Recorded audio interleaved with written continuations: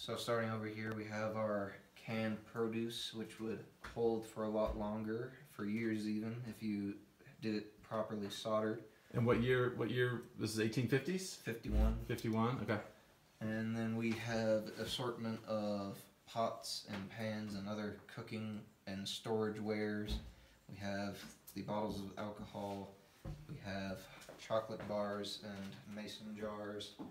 We have a scale, a coffee grinder, and then coming over here we have some ink wells, some sewing supplies and matches. We have the seasonings and coffee and other medicinals. We have cigars, and then we have veterinary care items and soaps and things.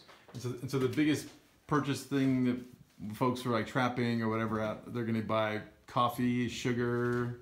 What are the what are the most popular things they would stock up on?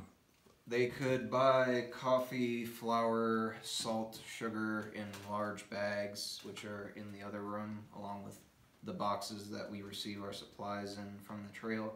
So you'll see boxes that say 20 pairs of shoes or two dozen axe heads or something Mhm. like that. Mm-hmm. There are a bunch of those boxes in the next room. Cool. And I guess they catch up on the news and stuff when they're here too, eh? Yep. Cool.